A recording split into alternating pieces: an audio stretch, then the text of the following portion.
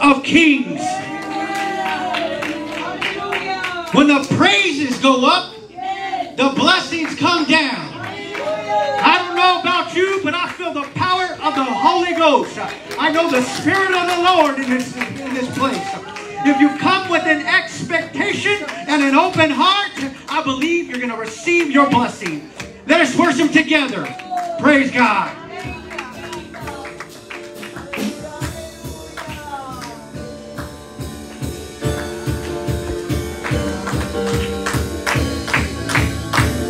Let's clap our hands. Hallelujah.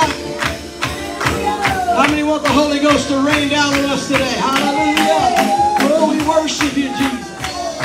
Thank you, Jesus.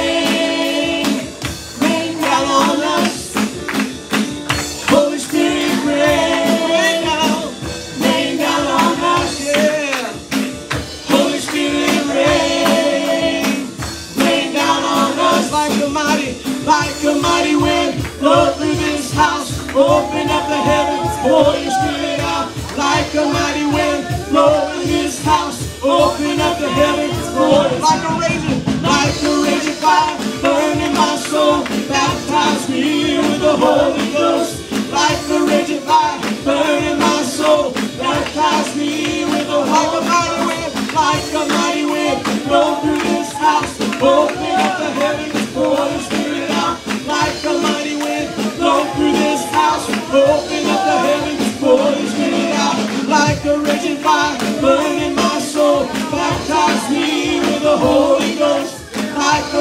la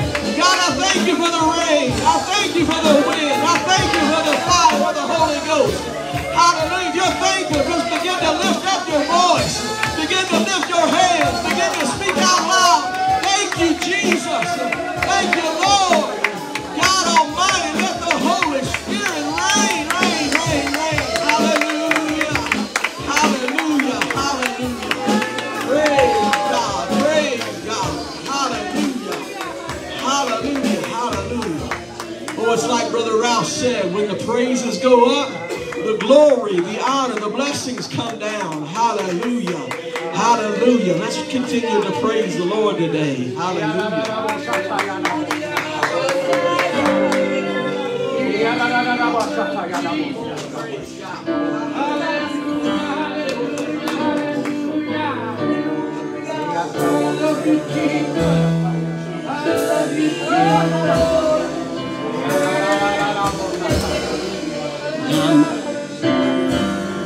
When I'm at my end, you're just getting started. When I hit a wall, you just walk through. When I face the mountain, you are the maker, so it's gotta move. When I'm out of faith and you are still faithful. When I'm at my worst and you are still good.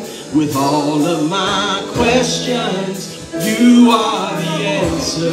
It all points to you. Cause you're the God of the breakthrough. When I'm breaking down, you'll be working a way through. When there's no way out, this one thing I know, you're still on your throne. So whatever I'm feeling, I still got a reason to pray. Pray, pray. When I'm at my end, you're just getting started. When I hit a wall, you just walk through. When I'm at a mountain, you are the end. So it's gotta move. When I'm out of faith and you are still faithful. When I'm at my worst and you are still good. With all of my questions, you are the answer. It all points to you. You're the God of the breakthrough. When I'm breaking down, you'll be working a way through. When there's no way out, this one thing I know, you're still on your throne. Whatever I'm feeling, I still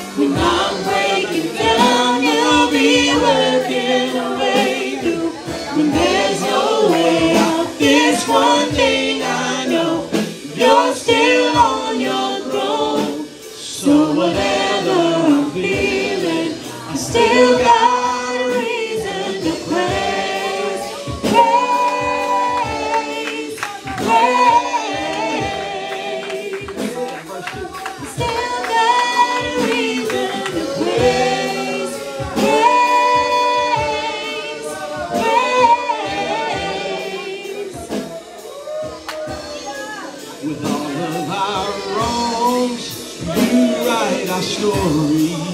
Down from the cross come rivers of grace. Out of the grave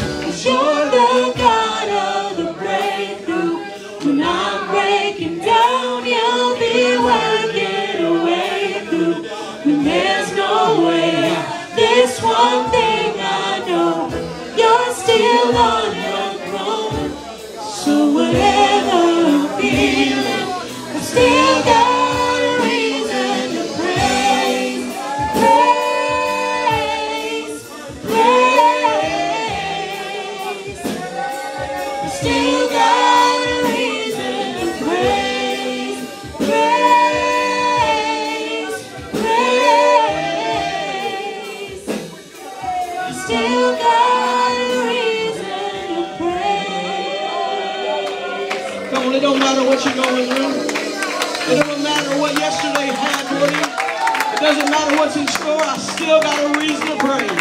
Every day when I wake up, every morning when I wake up, I can praise Him. I can praise Him. I can praise Him. Thank you, Lord, for a brand new day. Hallelujah. Praise Him, praise Him, praise Him.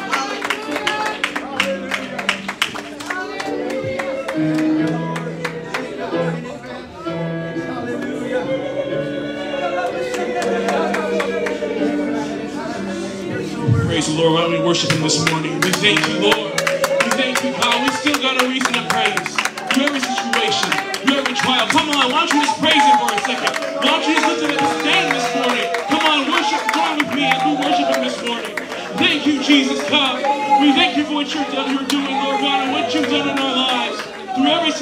Through every trial, God. We worship you. We thank you, Jesus. Have your way this morning, God. Thank you, Lord God. Thank you for who Jesus is. Hasn't he been good to you? Thank you, Jesus. Thank you, Jesus. This morning, I'm going to go into prayer. Any needs are in this house, I'm telling you right now that God can answer every single prayer that we have. He's a prayer Oh, go ahead. Absolutely. I haven't talked to nobody about any of this. I was gonna have Thanksgiving dinner, don't have, you know, my husband died year, pretty rough still. And Sister Janet, Sister Linda, her husband, I got blessed with a lot of food and beyond that.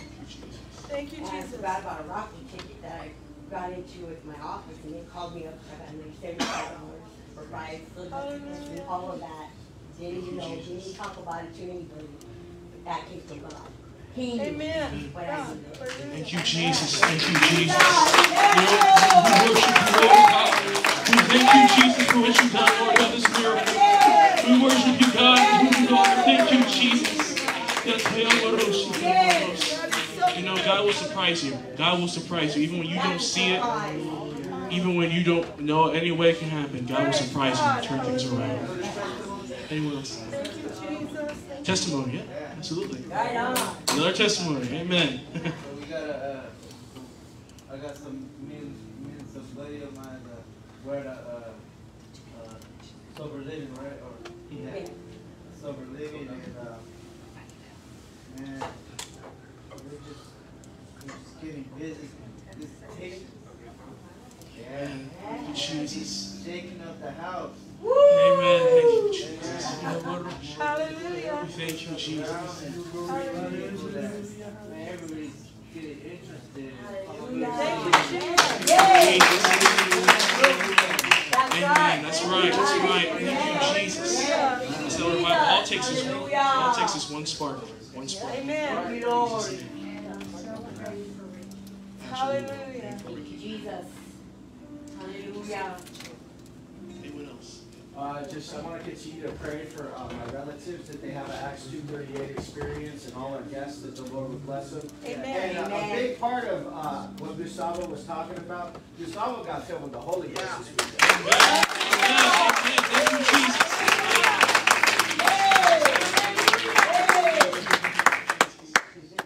Thank you, Jesus. Man, that's, that's Thank you, Awesome. Jesus. Pray for my family, Absolutely. Yes, yes. Thank you, Jesus. Praise God. that it will keep them safe, Hallelujah. Yes. Amen. Hallelujah. reunite them. Unite us. Yes. Yeah. Thank you, Lord. I'd like to ask prayers for uh, Soraya. Amen. Amen. Amen. Hallelujah. I- I guess the, the way to put it is she's getting older and there's changes in her life that's going on and, Jesus. and with that, difficulties and challenges that have become a little bit um, more advanced, I guess the word I could use. So I'm believing God. God is a God. of peace. Hallelujah. Yes. Amen. Amen. Yes. Thank you, Jesus. Thank you, Lord. Yes, Lord. Thank you, Jesus. Amen. Hallelujah. Jesus, this has been our prayer, Lord. Hallelujah. Yes. Hallelujah. Hallelujah. Anyone else? Thank you, Jesus. Don't forget the Holly. Yes. Yes. Thank you, Lord. Hallelujah. Praise the Lord. Let's take these knees before the Lord this morning. God, we pray that you would touch in every situation, Lord. Every situation, Lord God, every struggle, God, we pray that you will touch. Lord God, we thank you, God, for what you've done already in this service, Lord God, and what you have done and you continue to do it, Lord. We worship you, Lord God, and we thank you for what you're doing, Lord God. The doors that you're breaking, the chains that you're breaking, Lord God, the things that you're turning around. We worship you and we thank you this morning, Lord. And God, we pray that you will come and touch Ricky, Lord God, wherever he's at, Lord God, we pray for salvation, Lord God, that you would draw him back, Lord. You see where he's gone, God, I pray that you would bring him back, God, to this truth, Jesus. Lord God, we pray for other relatives and guests, Lord God, that we know, Lord God, and family members, God, you will bring them back, Lord God, and bring them to you, Jesus, and help them understand where they're at, God. We pray that you will reach them, Lord God, and bring them here and touch them, Jesus. Lord, we pray for family, Lord God. All our family members that are lost and gone astray and don't know this word, God, we pray that you will move, Lord, and that you will draw them to you, God. Touch them, Jesus. Move like only you can, God. We pray for Soraya this morning, God, that you will touch her, Lord, as she's getting older, Lord. Give her direction, Lord God. Speak to her, Lord God. We pray she will touch her, Lord God. Draw her closer to you, Jesus. Help her get a hold of you, Lord God. We pray she will touch her, Jesus. God, we pray for Ollie, Lord God, that you will heal her, Lord. God, you see the situation, God. And God, I pray that you will heal her right now, Jesus. We pray for healing, God, in her body right now in the name of Jesus. God, we thank you for all the miracles you've done, all the things that you've done for us, Lord God. The revival we're seeing, Lord. The chains that we're seeing being broken. We thank you for all of it, Lord. And we know you continue to move, Lord. We worship you this morning. We praise you in advance for all these deeds, Lord, because we know that you will move. We that you will make a way. In Jesus' name, in Jesus' name, we worship you this morning. Thank you, God. Thank you, God. Thank you, Jesus. Praise the Lord, everyone. You may be seated.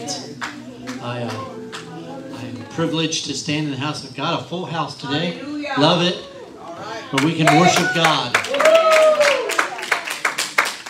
Have some announcements to, to bring to you. When you get a little older, you learn to take your glasses off to read. I want to remind everyone um, service animals, when they're wearing their harnesses, we don't want to pet them. Uh, they're trained to respond a certain way. We want to make sure we re- respect that so that they can um, maintain their their job. Like I said last week, it's their job, so you Right. know they're not getting they're getting paid in uh, Scooby snacks. I keep doing stuff I don't get Scooby snacks. Oh, Seems, seems unfair. Okay. We have a ladies' holiday fellowship on Saturday, um, December 2nd at 11 a.m. Want all the ladies to participate in that. And if you uh, are participating in the Secret Sister, bring your gift on that day. They'll be exchanging gifts on that day. Uh, December 3rd is the church holiday celebration here at the church on Sunday. We expect want to see everyone there. We're going to have food and fellowship and a, a lot of fun remembering the birth of our Lord. Um, if you have any questions, see Sister Johnson or, or my wife, Sister Mary. Uh, on December 9th, men's uh, Christmas get together. Uh, we want to get all the men together to, uh, to remember Christmas. And on December 24th, there'll be a candlelight service here at the church. Okay, let's just worship God uh, and thank Him for all the things He's done for us.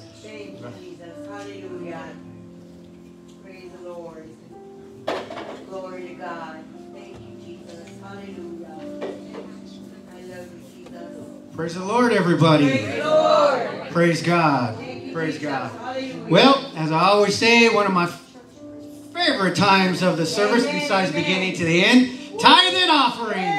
Praise God. I didn't hear no excitement there. I said tithe and offering. I get excited because I know I know how the Lord has been faithful. Right. When we are faithful in our giving, Yes. Amen. our sacrificial giving, Amen. just like the lady in the Bible had two mites. That's like two pennies. Come It's on. less than two pennies. Come on. She gave all that she had. Right. Then you have the Pharisees who gave in big lumps of sum, and they wanted everybody to see what they had given into this offering, uh, uh, offering plate or whatnot. Right. But this, this woman was highly blessed and more favored than they because she gave that all right. that she had. Right. I don't think she had nothing in her bank. Zero. Right. And sometimes life can take us, can be can be rough at times. Yes. But know when you are faithful, Yes. He will meet all your need. Praise God. If we can please stand. Hallelujah. There's three ways we can give.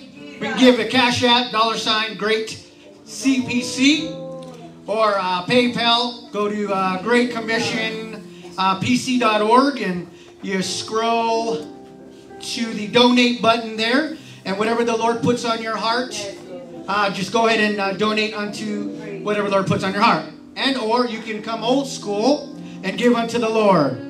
Praise God. Let us go before the Lord. Father, in the name of Jesus. Lord, I pray, God, bless those, God, that are giving. Bless those that want to give, but they can't give. Bless their finances so they can't give to your kingdom for the work of the kingdom. Lord God, bless everybody in this house. In Jesus' mighty name, amen. Be friendly, shake hands, and greet one another.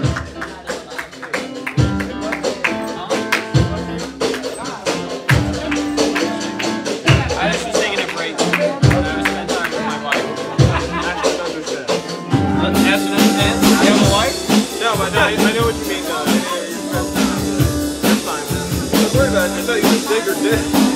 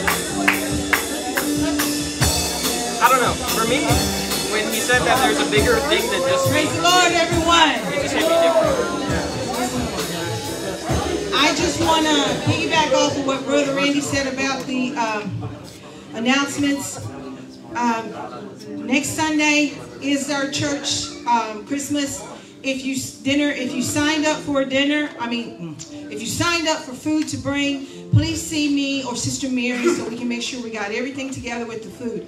But the thing I did want to say mainly was to the ladies. Our ladies fellowship is next Saturday at 11 o'clock here at the church, December 2nd. Um, we want everyone that wants to participate in the ladies and ladies um, fellowship, please come. You don't have to bring a gift. You know, we did the secret sister thing. We did that about what a week or two ago. But if you weren't here for that, that's fine. We still want you to come. We want all the ladies to come because we always have a lot of fun and food and fellowship. So we want you to come. If you did agree to participate in the Secret Sister, if you're not going to be able to make it for any reason, please see me or Sister Mary so that we can pick up your gift and make sure you get your gift. Because we don't want to be here and then everybody's opening presents and then because you couldn't make it, your sister's sitting like this. While everybody else is opening their gift. Um, so we want you to, if like I said, if something comes up, I know things happen all the time, unexpectedly. So if you can't be here, please see me, contact me, call me, do whatever you need to do, or Sister Mary, and we will make sure we can pick up your gift. And then after the, uh, it's over, we'll bring you your gift. But if you decided not to participate, it is not a requirement to come. We want all the ladies, everyone is welcome. We always have a good time. We always play games, and it's just going to be a lot of fun. So if you can be here next Saturday at two o'clock, please. Um, next Saturday the second at eleven o'clock. Please be here. God bless you. Yeah, two you missed it, but anyway, it's eleven o'clock. God bless you.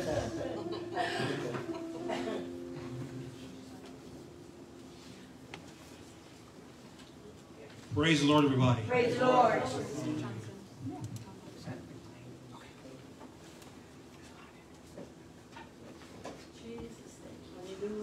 Praise God. I just want to Yes. sing something that God has put in my heart years ago, Hallelujah. but I just I felt impressed to, to sing it this morning.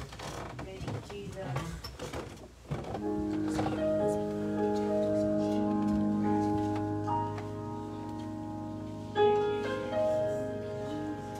You're always there to call on. And that means so much to me. When I lose myself, you're the one to find me. Your strength is made perfect when I'm weak as can be.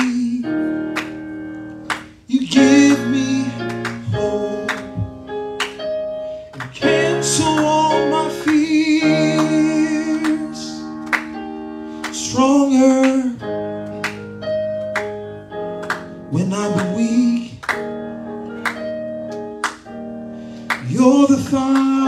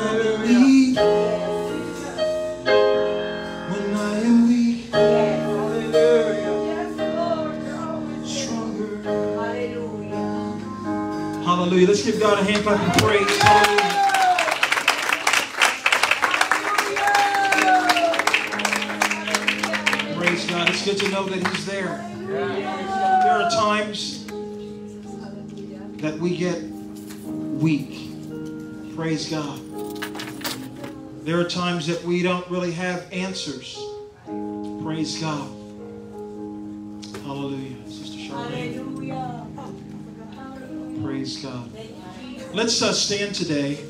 We're going to dismiss Sunday school out to my my left hand side.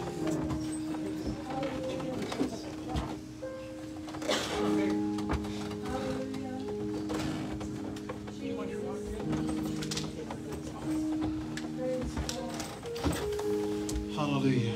If you're turning your Bibles to 1 Kings chapter 19, preach to you something God's put on my heart this morning, and I trust that it will be a blessing to your life. Thank you, Jesus. Praise God. Praise the Lord. 1 Kings chapter 19, verse number 11. And it reads like this And he said, Go forth and stand upon the mountain before the Lord. This is God speaking to Elijah, the prophet. After Elijah had done some pretty incredible things, God used him pretty incredibly. But this is on the heels of a great threat that he received on his life after that. And so you had this mountaintop experience, spiritually speaking, and then in the physical, a very, very, very, very low moment in Elijah's life. And this is what God says to him at a point when he stops to listen. And behold, the Lord passed by, and a great and strong wind rent the mountains, tore the mountains, and break in pieces the rock before the Lord. But the Lord was not in the wind. And after the wind, an earthquake. But the Lord was not in the earthquake. And after the earthquake, a fire. But the Lord was not in the fire. And after the fire, a still small voice. And it was so when Elijah heard it, that he wrapped his face in a mantle and went out and stood in the entrance of the cave. And behold, there came a voice unto him and said, What doest thou here, Elijah? Let's put our Bibles down for a moment and let's talk to, to the great God, the Ancient of Days, the one that loves us beyond more than we can even imagine. Father, we love you today. Thank you, Lord God, for the people that stand before me, Lord. I pray, God, that you would give me the words to say, God, and help me to convey what you've given to me in such a way, Lord, that it ministers to their hearts. God, that their ears are open to hear what you have to say, God, and that you're able, Lord, to bring some encouragement, to bring some confirmation. God, to speak in such a way, God, that it changes us forever. In your name we pray. Amen. You can be seated. And I want to preach to you from this title, An Agenda Bigger Than Mine. An agenda bigger than mine. You know, in this story of Elijah, you know, he's a he's a unique person in the Word of God. He looks kind of normal. There's some things that he does that are quite normal, and certainly his feelings, his emotions that he he he expresses, and the Bible doesn't hide them. You know, the Word of God's something. He doesn't hide some things that that you may say, well, if I was trying to tell a story, I'd leave that out. Mm-hmm. God doesn't do that. He leaves it all right there. And so Elijah, he comes onto the scene in, in the previous cha- in previous two chapters before that, in chapter 17. The Bible says in verse number one, his exchange with Ahab, his first exchange here that is recorded in the Word of God. The Bible says Elisha the Tishbite, who was an inhabitant of Gilead, said unto Ahab, As the Lord God of Israel liveth, before whom, whom I stand, there shall not be dew nor rain these years, but according to my word. In other words, it's not going to rain until I say so. Right? Come on. And he disappears. He gets out of there quick. God tells him to go down to the brook called Cherith. And God says, I want you to hide there at this brook called Cherith. And so he goes. God tells him, He says, I've instructed the ravens to bring you bread and meat. And that's how you're going to survive. But you know something? There's a very real, there's a very practical, there's a real element of whatever God does. I dare to say that the meat that those birds brought was not cooked. Yep. Right. Elijah probably had to cook that meat. Right, right. What am I saying? Well, sometimes we think that God's going to do everything for us. Right. And there's nothing for us to do. But in the real world, for you to learn, for you to understand, God's going to work, and sometimes He's going to do miraculous things, and then sometimes He's going to do some things, and you have something to do about it too. Right. Yes, sir. Right, right. Because after all, He is training. We're all in training. Right. For the entirety of our lives, we're in training mm-hmm. to respond. The Bible says in patience, possess ye your souls. Yes, yes. And so, this crucial element called patience is something you must get. I must get. Paul lets us know that the way you get patience, he says the way that patience comes is through trials. Tribulation works patience. Patience, experience. Praise God. There's something necessary in patience that God is going to allow tribulations to come in our lives so we get some more of it. Praise God. Things are connected in ways that we don't even know. Your patience in dealing with whatever you're dealing with has something to do with your salvation and how you're going to live for God and, and how you're going to perceive God. And, and God knows how all that stuff goes into the soupy mix to make the cake that He is making. He knows how all that stuff works together. All those ingredients, how necessary they are. So here's Elijah. He's at the brook, but the brook dries up. The brook that he's at, where God said he's going to sustain him, dries up. And all of a sudden, it's like God's plan comes to a halt. No, no, no, no, no. God's just changing his location. And it's for good reason. It's for something I never really saw before. So God tells him, Hey, I got a widow I prepared for you that's prepared to take care of you. A widow. Does that sound appetizing or does that sound like a, you know, a macho man wants to go to a widow. Right. She doesn't have a husband. She's just barely making it herself. But this is who God's prepared. You, see, you don't think like God thinks. I don't think like God thinks. But God says He prepared her. And when Elijah gets there, he doesn't find this lavish spread. Fields for days. Food aplenty. Big house for... No, he finds a lady that he sees, and God says, that's the one. He's like, okay, God. And he says, uh, can you, you get me some water? And she goes to get him some water. It's just a little test. Right, right. He's testing her. Right. She, so she goes to get the water. As she's going, he says, oh, by the way, bring back the cake. And she and then she stops. Wait a minute. Then he finds out her dilemma. She says, look, I have just enough of meal and, and cruse of oil to make one more cake for me and my son. We're going to eat, and then we're going to die. There's no more hope here. Mm. And Elijah was like, okay, God, that's the one. I get it. Yeah. Not like you and I think. Come on. Come on. But the Bible says Elijah didn't spoke the word of God. God spoke through him. Yes. He said, make mine first. You're another thing. I mean, who's, what man would, you know, you feel, you know, hey, this is a little, you want them to make theirs first. But this is before God. Yes. Yes. Yes. And this was her test as much of his, as it was his. But God told him something before he went down there. I have prepared her. Right.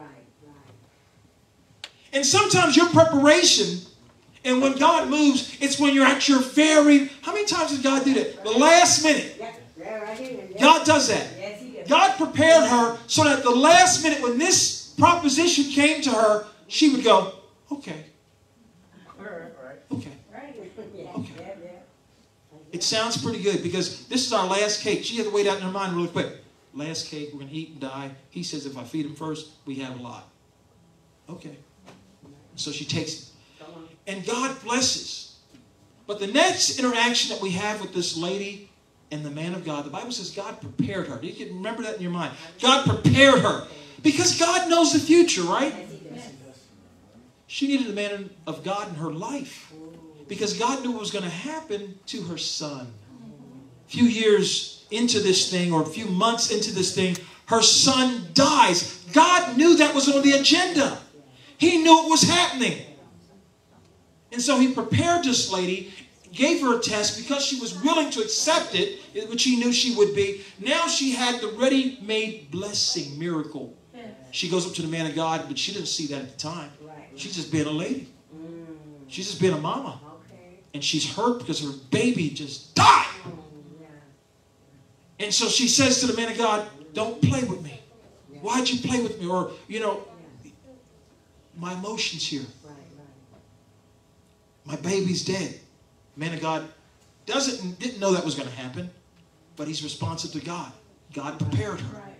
So he takes the baby, lays him up there on his bed. And the Bible says he stretched himself across the child twice. Prayed for the child, prayed for the child. And then his life came back to him.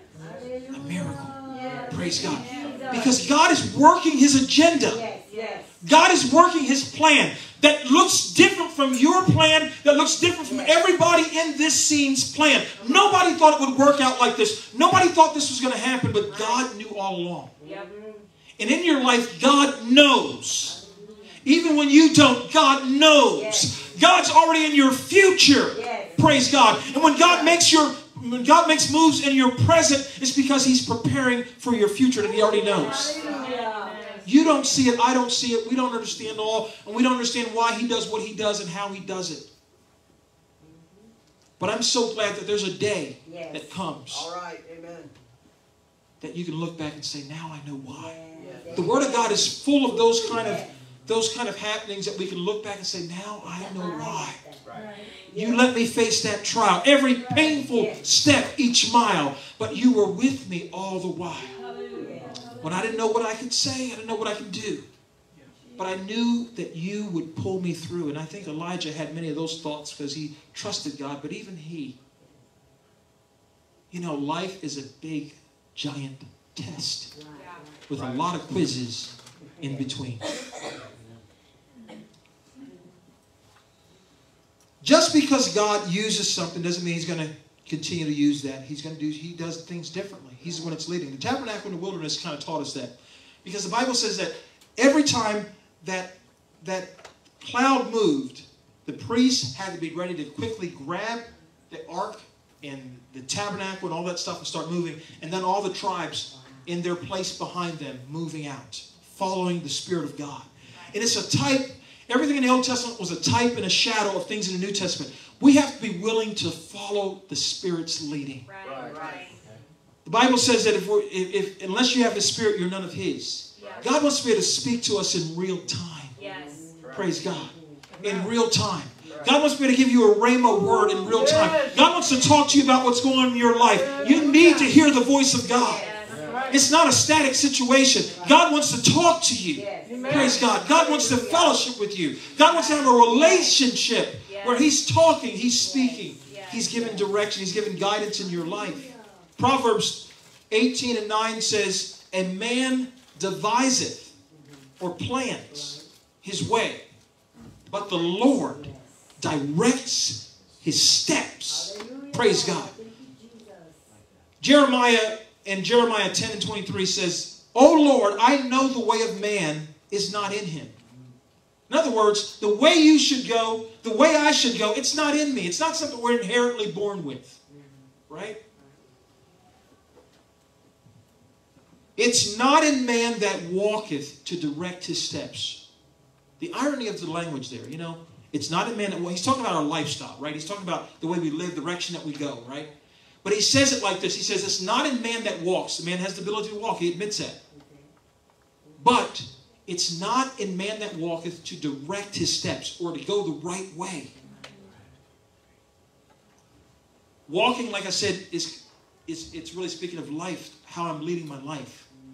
The Bible says there's a way that seems right to a man. But the end thereof are the ways of destruction. If you saw a train wreck, if you saw a train that was slowly coming, going to a wreck, and you can see down the hill over there where there's a big wreck that's going to happen, you wouldn't jump on that train and go for the ride. You would avoid it like the plague. But God says when you look into the future, you look into a glass that is black, dark. You can't see. I need somebody that sees Yes. leading my life. Amen. You know, the prophets in the Bible, they were called, this is what this is how people perceived them. They were called seers. Seers. Through the eyes of God, they saw the future and they spoke of it in prophetic terms. Praise God. I want my life guided by God. Many times, God changes things without telling us because He's sovereign.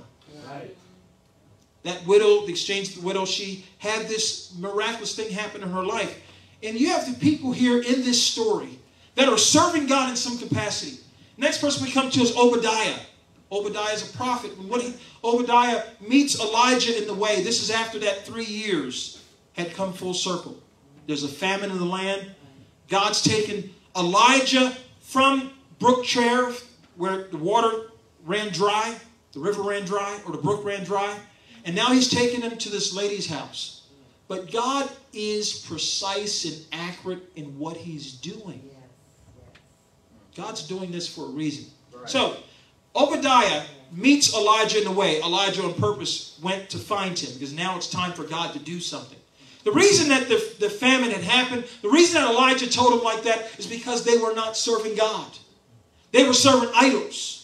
Because Jezebel, it was a marriage that took place. Jezebel married Ahab. Je- Jezebel was not from Israel. She was from another, you know, the, Sy- the Syrophoenician lady, that whole Zarephath area. She came from that area. She married Ahab, and she brought her gods with her. Gods of Baal. And all the things that God had told his people to stay away from. Where they sacrificed their children. Where they had all kind of orgies and things of that nature in their worship, their temple worship. All kind of things that God had forbidden his people from being a part of. Here they were bringing it to the fore because of Jezebel, wicked lady. And so God said, I'm going to shut the rain up to get their attention. And now it's time to turn the rain back on. So God tells Elijah to go meet with Obadiah and uh, to begin to work on arrangements so he can meet with Ahab again and let him know that God wants to square this thing up. God wants to show that he's God. There's a lot of people that need to know that God's God. God wants to show this to the nation. And as Obadiah was in the way, in verse number 7 of chapter uh, 18, uh, behold, Elijah met him. And he knew him and fell on his face and said, Art thou my Lord Elijah? And Elijah says, I am he. Go tell your Lord or your master, behold, Elijah's here. And he said, What have I sinned? This is Obadiah's response. What have I sinned? That thou shouldest deliver thy servant into the hands of Ahab to slay me? As the Lord liveth, there is no nation or kingdom whither my Lord hath not sent to seek thee. And when they said, He's not here, he took an oath of that kingdom or nation that they found thee not. In other words, he went searching high and low, every country he could think of, looking for Elijah. Ahab did. You got to remember, he was international in his scope. His wife was not Israelite, she was from Zarephath. And so they were able to pan the globe or that immediate area and find out if he was there. And God hid him in this widow's house. Sometimes God's agenda doesn't make sense to you until you know the other side of the chapter, the other side of the, the coin, if you will. God was doing something, God was hiding him in plain sight. He was hidden there, and uh, really it was in Jezebel's country. God was hiding him at this lady in Jezebel's country that he prepared. You see, the heart of Jezebel was so wicked, but somebody in her own country had a soft heart towards God. And God knew who that person was and found her, took Elijah, and hid him there for all this time. Just amazing. But God wanted to set the agenda. God wanted to show himself to be mighty in front of all of Israel. So, of course, you have the, you know, Elijah on Mount Carmel. So the prophets of Baal, 800 of them, they get their thing up there and their, their altar is made and uh, they begin to cry out to Baal to bring fire down and destroy it. And of course, Elijah's joking. He knows it's not going to happen because there's no God. It's, he's, he's playing with them. And they begin to cut themselves. They're there all day, cutting themselves, all this stuff. And these were Israelites, though. They knew the true God, but they were they had abandoned him to believe in something that was nothing, and God was trying to show them up. Right? And then Elijah prays a about a 50 word prayer, and God destroys that sacrifice and the water he engulfed it Come on. with. Come on. licks it all, all the water up, and the fire falls, and everybody knows God is God, and they kill the prophets of, of Baal. Those 800 guys, they all get done. And it's a big celebration, rah, rah, rah. You know, he's, he's you know, he's on top of it. You know, he, God's moved in such a mighty way. God's shown himself. And now the rain's about to fall. So he gets with Ahab, tells him, rain's going to happen now. God's, you know, showed himself triumphantly over, you know, the prophets of Baal. And word gets back to Jezebel, who wasn't there, that all your prophets have been killed. She is not even moved by what God did up there, because I'm sure that part of the story got back to her. But she's wicked and evil. And Jezebel sends a word. She sends a word through a messenger to deliver it directly to the man that God has used in this mighty way. He's seen God's mighty hand work, but Satan knows exactly how to get to you. Come on. He knows exactly how it's going to affect you the most. And so this word comes, and this is the word very solemnly. I'm going to do this to you in about 24 hours. Within the next 24 hours, this is going to happen to you. Your head's going to fall. Now, it wouldn't really make a lot of sense to, you know, when you compare everything. We have the, we have the luxury of looking back over Scripture, going through the story, through two, two chapters and seeing all those details and all this stuff, how it fits together. And it's a neat little thing to preach a sermon and all this stuff about somebody actually lived it. Yes. Here's a man of God who lived this stuff. Yes. And he's being confronted with what scares him to death. But not just to death, it scares him into depression. That's good, Pastor.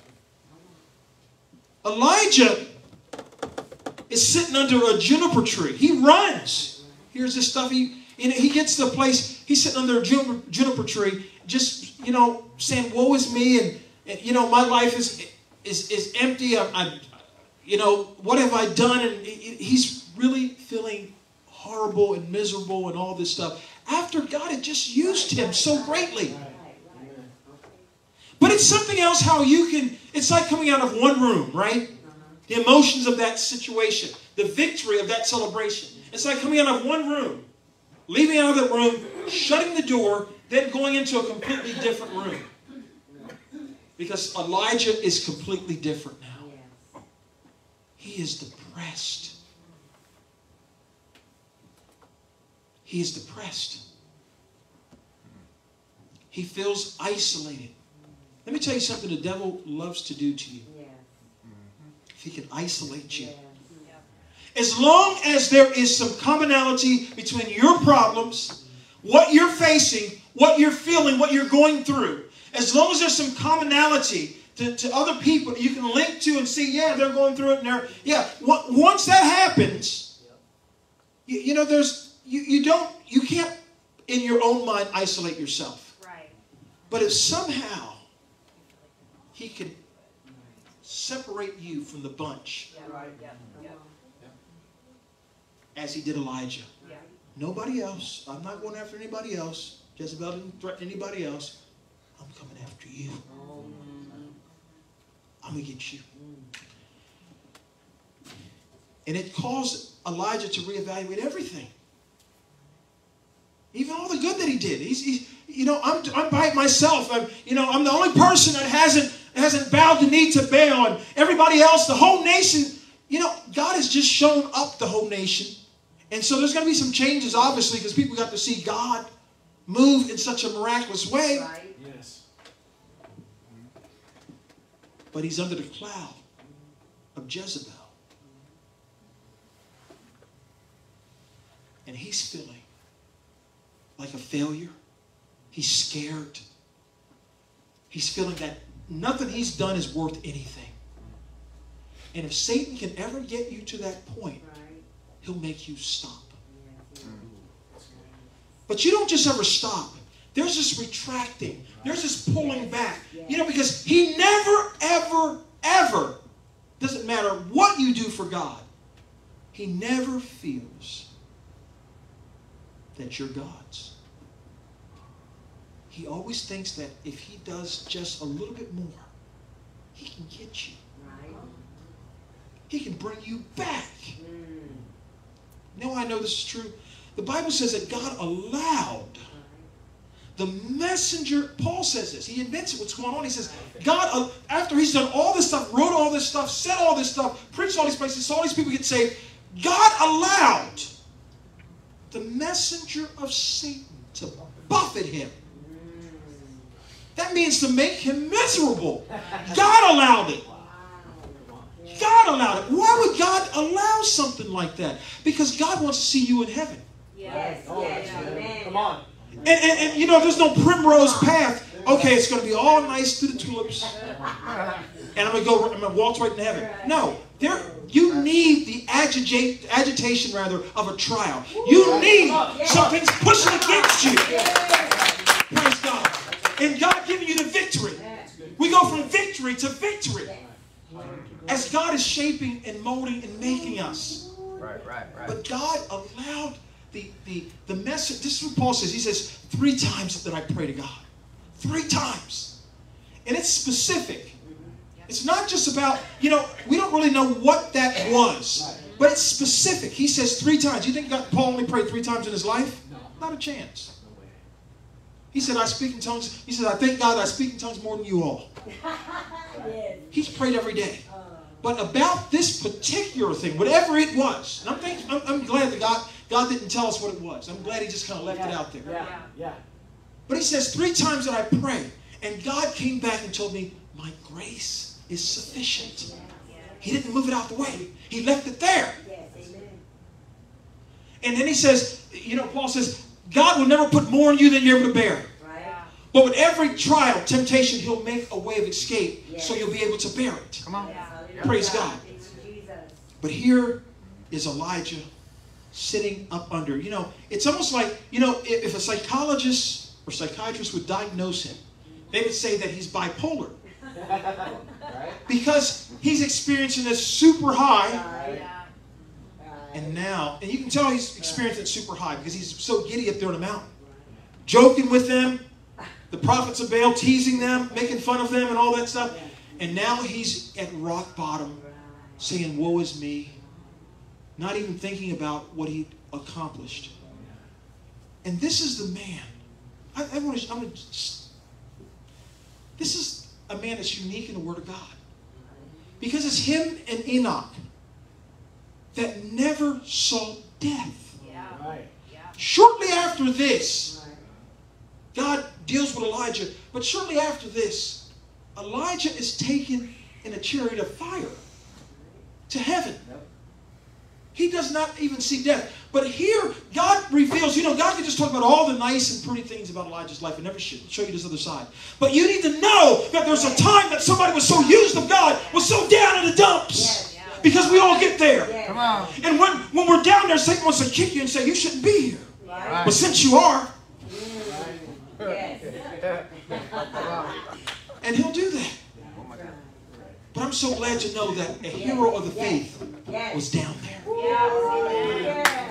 I'm so glad to know that somebody that loved God, that God used mightily, was down there. Even after he was used, he went down there. Come on.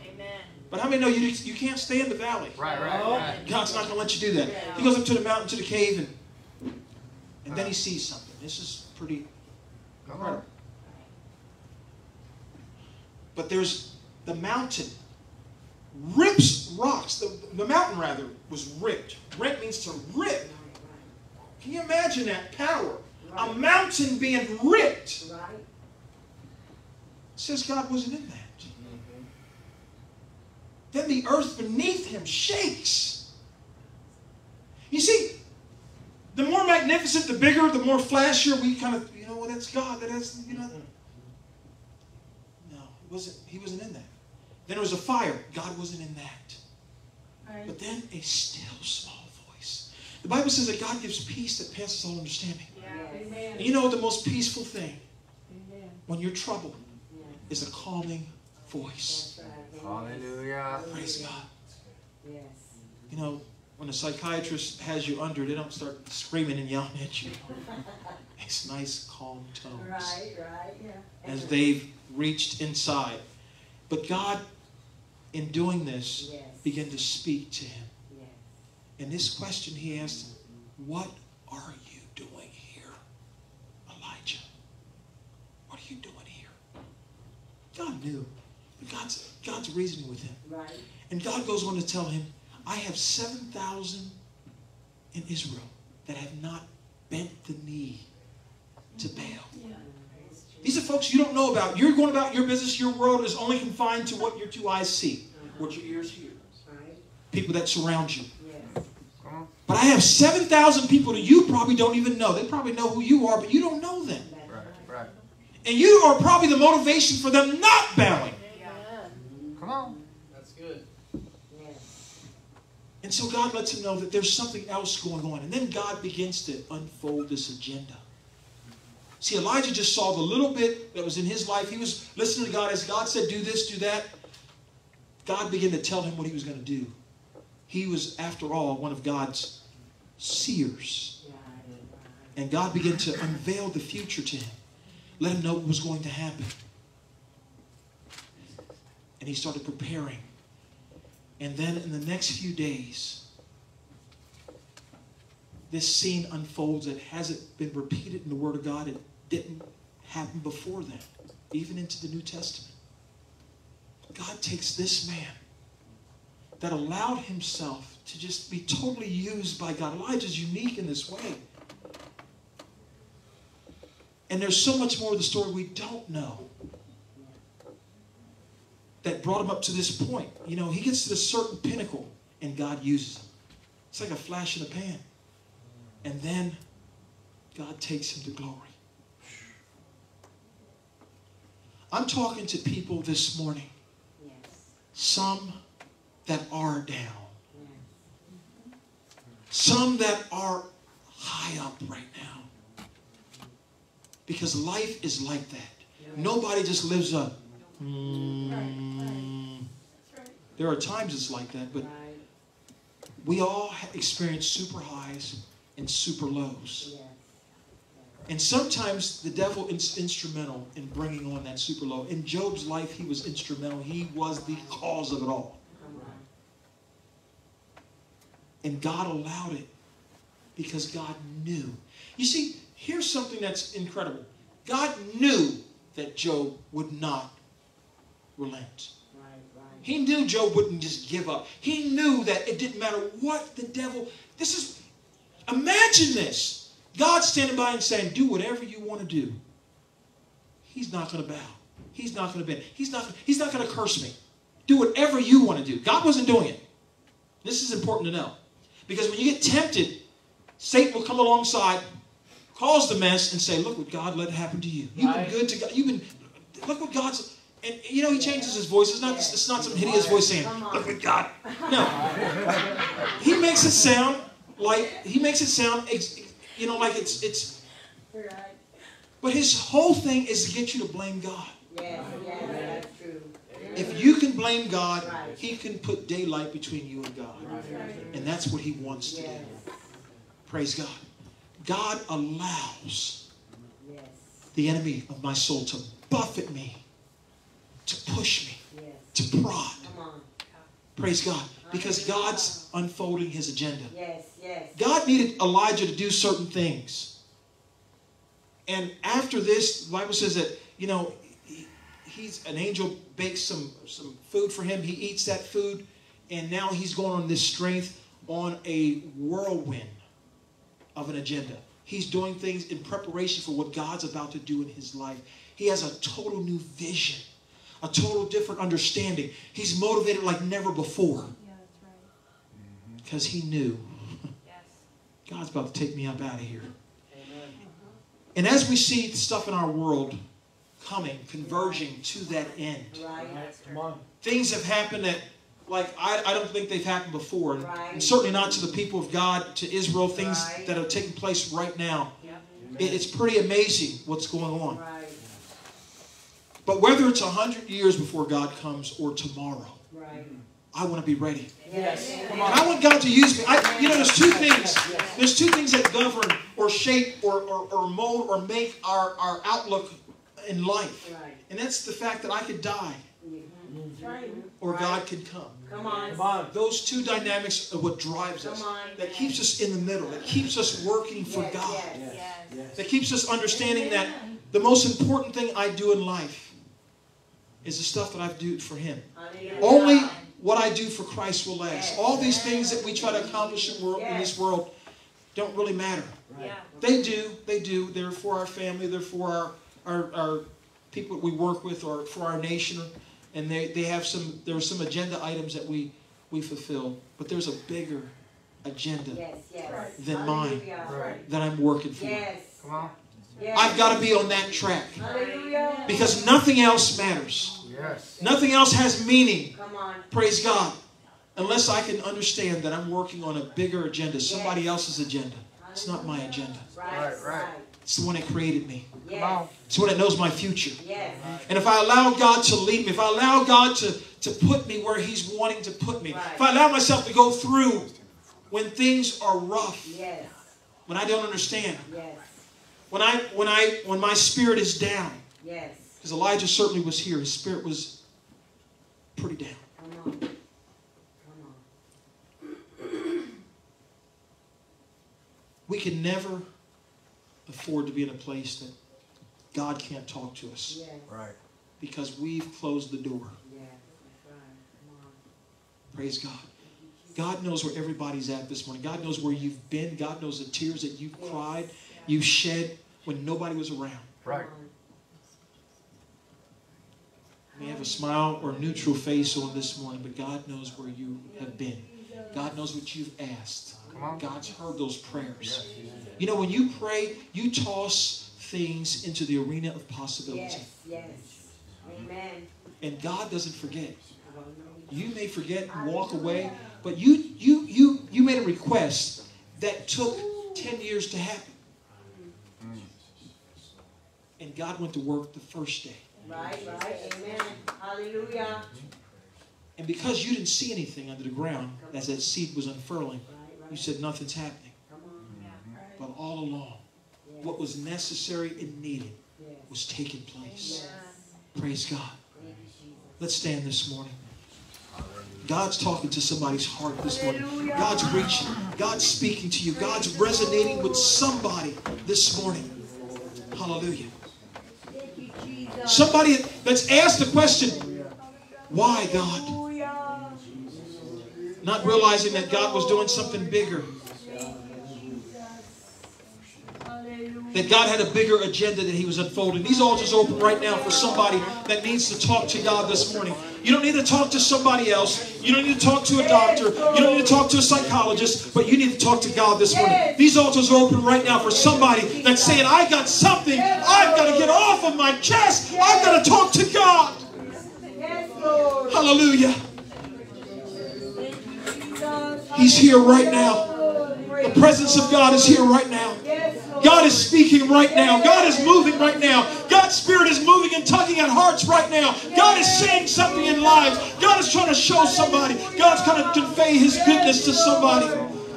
God's trying to let somebody know that even though it feels like the sand from underneath your feet is shifting, I'm still in charge. I'm still in control. I have an agenda. I have a plan, and you're a part of that plan. You're not aimlessly wandering through life, but you're a part of that plan. You're a part of that plan. I'm working through you. I'm working in your life. I'm moving in your life. I'm doing something in your life right now. When you can't detect my hand, I'm there working. I'm there moving. I have a plan. I have a purpose. I have an agenda. There's a reason to it all. Hallelujah.